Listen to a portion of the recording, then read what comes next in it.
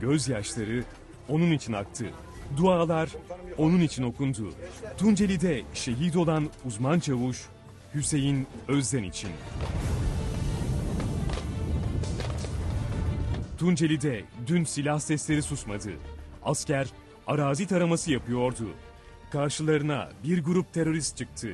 Asker teslim ol çağrısında bulundu. Ama o çağrıya ateşle karşılık geldi. Çatışma çıktı.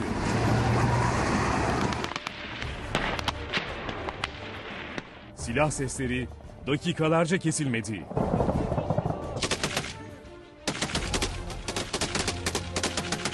İki asker yaralandı. İkisi de hemen Elazığ Askeri Hastanesi'ne kaldırıldı.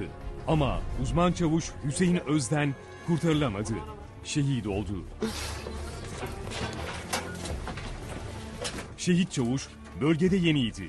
Son bir haftaya kadar Kosova'daydı. Kosova'dan geldi, biri 6 aylık, diğeri 6 yaşında iki kızıyla, eşiyle hasret giderdi. Ailesiyle kucaklaşıp Tunceli'ye yeni görev yerine geldi.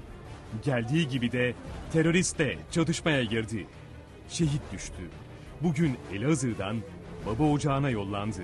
Gözyaşları sel oldu. Şehide son dualar okundu. Kahramanmaraş'ta toprağa verildi.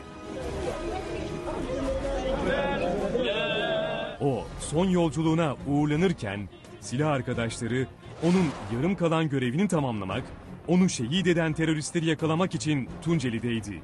Operasyonlar genişletildi. Asker şimdi çatışma sonrasında ormanlık alana kaçarak izini kaybettiren teröristleri arıyor.